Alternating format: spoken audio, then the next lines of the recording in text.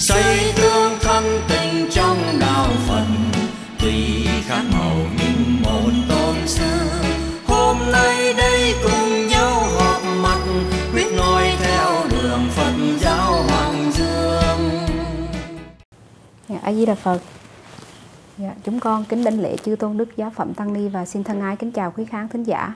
Kính thưa quý vị, chương trình Sống đời sống Phật hôm nay, chúng con kính cung thỉnh Thượng tọa Thích Viên Huy trụ trì chùa Điều Ngự sẽ tiếp tục giảng về những lời Đức Phật dạy qua kinh Pháp Cú và chúng tôi hy vọng qua những chia sẻ và những lời giảng dạy của thầy giúp quý vị hiểu sâu hơn về Phật pháp để có một đời sống tâm linh thật an lạc.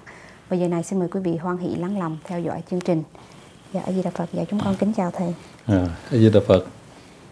Chào cô Nhật Nguyễn Huy và chúng con xin ờ, đảnh lễ chư tôn đức tăng ni và kính chào quý khán thính giả đang theo dõi chương trình Sống đời sống Phật.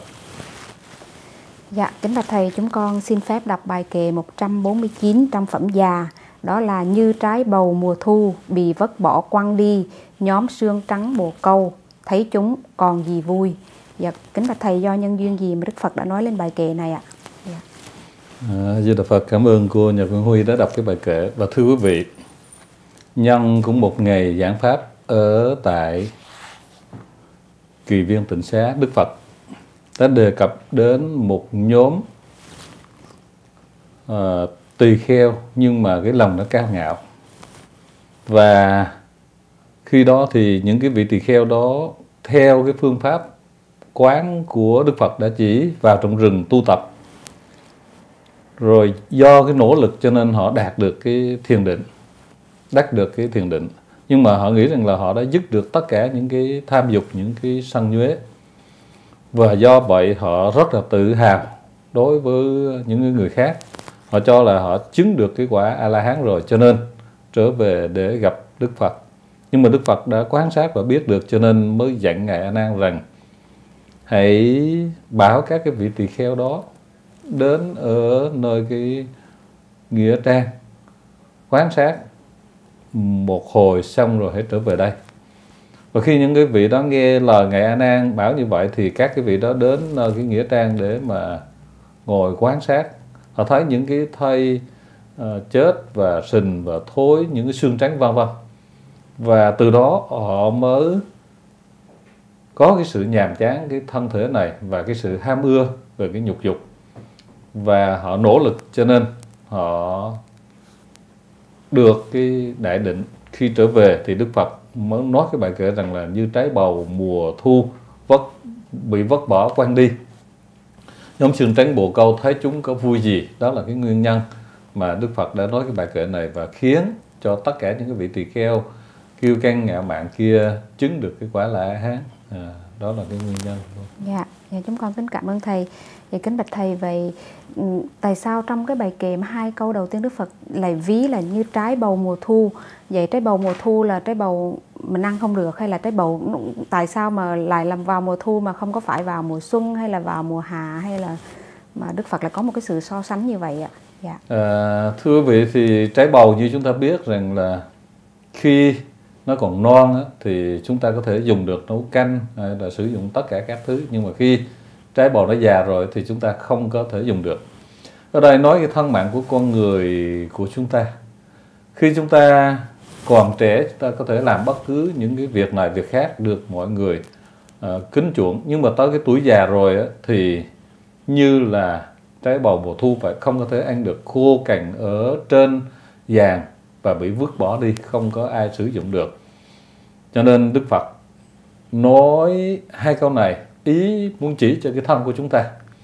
Cho nên khi chúng ta còn trẻ thì chúng ta nên cố gắng nỗ lực chúng ta nên cố gắng tu tập chúng ta cố gắng làm tất cả những cái việc lành để rồi chi.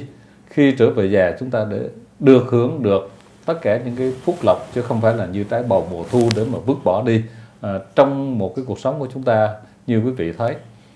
Chúng ta vội bôn ba để chúng ta kiếm tiền.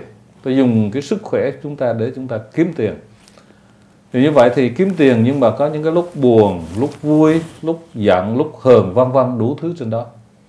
Thì những cái buồn, cái giận, cái hờn, cái vui đó nó làm cho chúng ta bị giảm đi cái tuổi thọ, giảm đi cái sức khỏe. Rồi chúng ta lấy cái tiền đó chúng ta lại trở lại mua cái sức khỏe của chúng ta.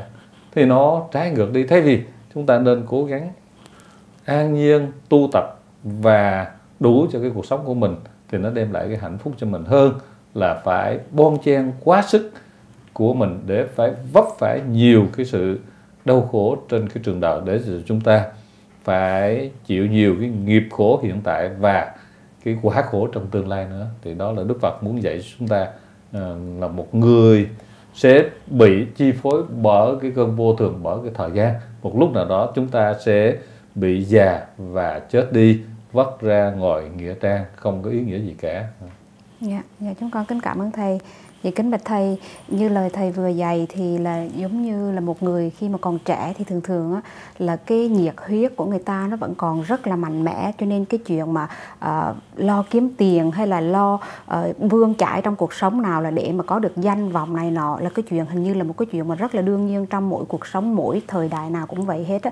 Cho nên khi mà nghĩ tới cái chuyện mà phải uh, tu tập hay là quán á, chúng con thấy không có dễ mà kiếm những cái người mà lúc mà người ta đang còn cái nhiệt huyết rất là mạnh mẽ thì kính bạch thầy mình làm thế nào để mà mình khuyến khích cho người ta mỗi ngày phải là quán tới hay là nghĩ tới cái chuyện mà ờ, đến một lúc nào đó cái tuổi già nó sẽ tới rồi người ta phải đương đầu với cái bệnh tật này nọ thì có cái cách gì để mà mình khuyến khích cho người ta không ạ? Dạ. Um, thưa quý vị, trong cái cuộc sống của chúng ta chúng ta không phải là trẻ mãi không già. Chúng ta không phải là khỏe mạnh hoài không bệnh. Chúng ta không phải là sống hồi mà không chết. Một lúc nào đó chúng ta cũng sẽ già đi. Và một lúc nào đó chúng ta cũng bệnh hoạn. Một lúc nào đó chúng ta chết. Chúng ta truy nhận được cái điều này rồi. Thì muốn, tại sao phải nói những cái điều đó là vì Đức Phật muốn cho chúng ta được an nhiên và nó bớt đi cái bệnh tật, bớt đi cái sự đau khổ trong hiện tại, cũng như trong tương lai và những cái thất bại trong tương lai chúng ta phải chịu nhiều cái sự khổ sở.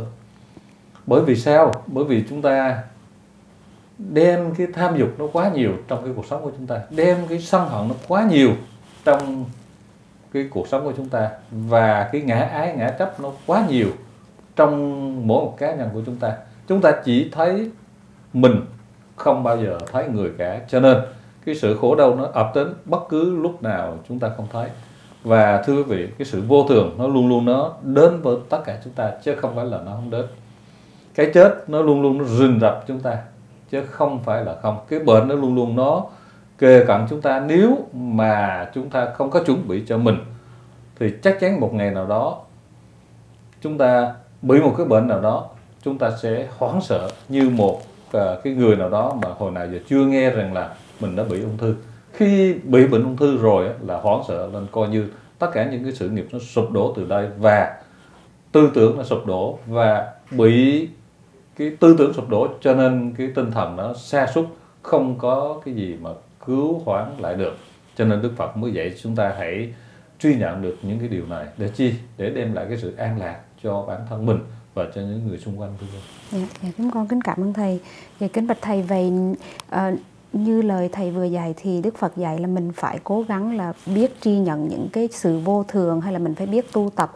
Vậy nếu mà chúng con có cái thắc mắc là ví dụ mình thiền quán á, thì thiền quán gì để mà giúp cho cái người mà Phật tử hay là cái người mà không phải Phật tử uh, bỏ được những cái tham đắm? Ví dụ như những cái người mà tham đắm sắc dục thì phải thiền cái gì?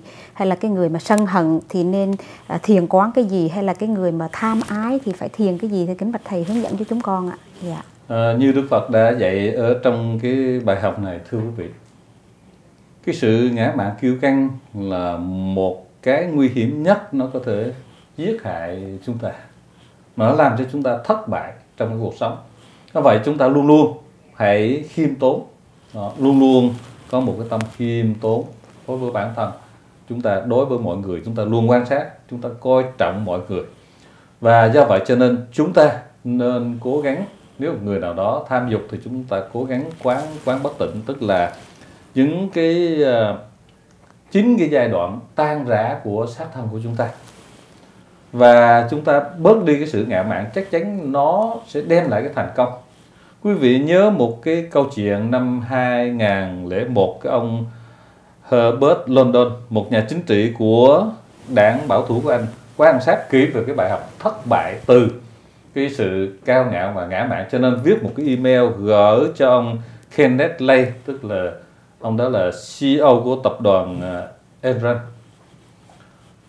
nhưng mà ông đã cảnh báo nhưng mà ông Kenneth Lay đó, ông không có chấp nhận. Cho nên ông tuyên bố rằng ông là một cái tập đoàn lớn mạnh nhất ở Mỹ, không có cái gì hơn cả. Và ông rất là cao ngạo đối với tất cả những cái việc gì mà ông đã làm. Ông cho ông là hơn hết tất cả. Và quý vị biết, ngay trong cái cái năm đó, cả cái tập đoàn nó sụp đổ hết tất cả phá sản luôn. Và ông ta đã bị 45 năm tù. Đó là do cái sự ngạo mạn và không có quan sát được không có khiêm nhường à, cho nên chúng ta cũng vậy à, chúng ta phải quan sát cái sắc dục là cái sự đồi bại sự tác hại đến bản thân cao ngạo là cái giết cái bản thân của chúng ta sự nghiệp chúng ta cho nên chúng ta đừng có bao giờ học những cái bài học như vậy Dạ, dạ chúng con kính cảm ơn thầy. Dạ và xin quý vị hoan hỷ đừng rời khỏi máy, chúng tôi sẽ trở lại ngay sau phần thông tin thương mại của đài. Xin cảm ơn quý vị. Xây tương thân tình trong đạo phật tuy khác màu nhưng một tôn sư hôm nay đây cùng